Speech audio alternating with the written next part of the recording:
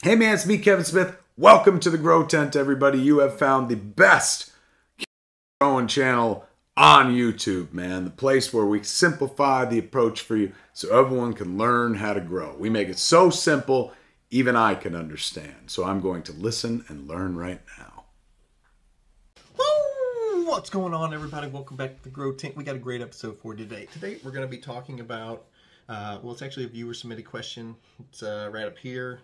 Uh, I believe it says something to the effect of uh, I have four plants. They're in the same environment. They're all the same line and uh, they're growing at different rates. Why is this? So today that's what we're going to talk about. Why the plants grow at different sizes even though they're in the same environment, same soil, same pots, same light, same conditions, same everything. Why are they still growing at different rates? So we're going to talk about that today and what you can do to fix it.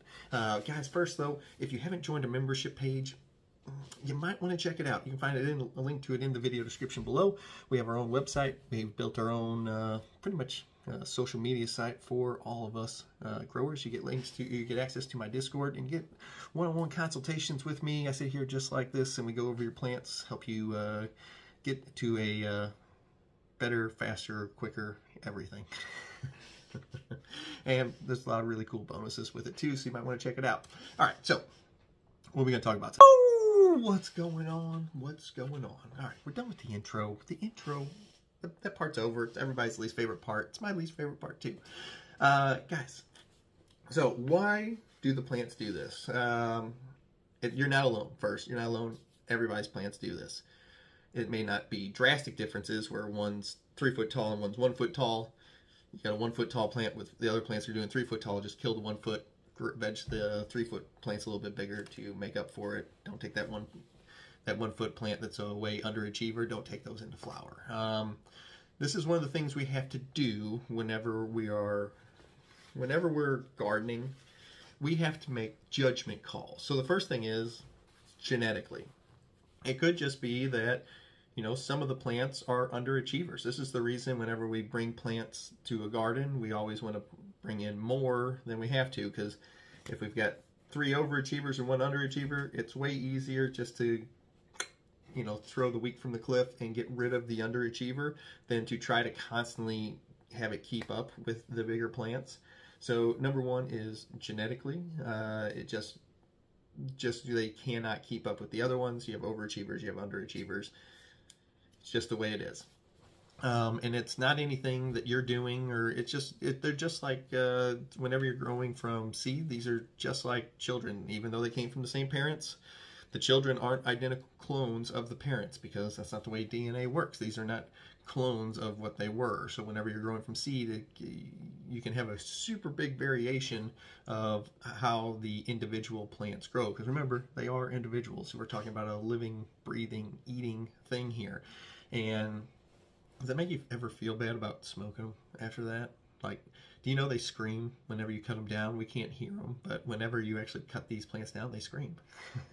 Does that make you feel bad? Every once in a while, I feel a little bit bad about that part, knowing that I'm chopping them down, but then I get over it real quick whenever I start to smell them.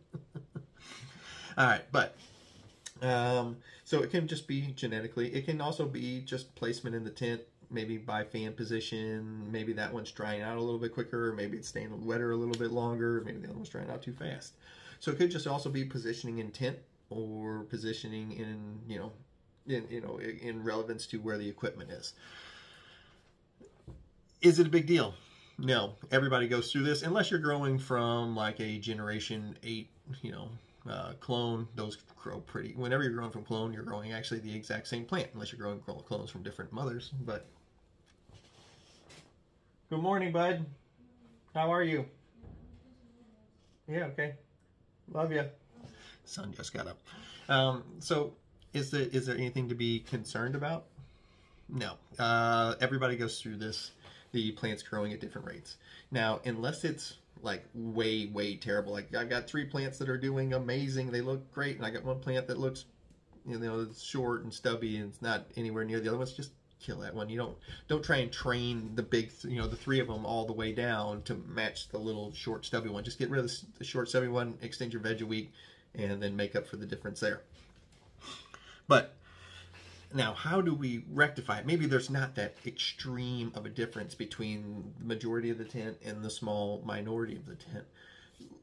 What do you do then? They're like, yeah, they're just a little bit off. I got some that are this tall and some that are this tall. Yeah, great. This is where you come in. So genetics, position of tent, all that stuff doesn't matter. This is where your ability as a gardener comes in, and you are going to use your you are remember you are the artist the plants are your canvas and your training methods, be it low stress training, mainlining, uh, topping, fimming, super cropping, or using those like little clips to do a different form of super cropping, like a low stress version, training version of it. Those are your artist tools, your paint brushes, your, you know, whatever you want to use, your rollers. Those are your tools to get your canopy to match. Remember, everybody goes through this. Everybody has to deal with canopy management because we remember we want to keep everything even. That's how we get everything wider, faster, and we get through veg quick, quicker to get to where we all want to be, which is flower. So you're like, all right, GT, so what do I do? So we've done a few videos on different training methods. I've pretty much done videos on all of them except mainlining because I don't like mainlining. But hey, if you like it, don't don't send me. I love mainlining. That makes my plant great. I just don't like it. I said I don't like it. I didn't say you couldn't do it. I said I don't like it. You can do it just fine.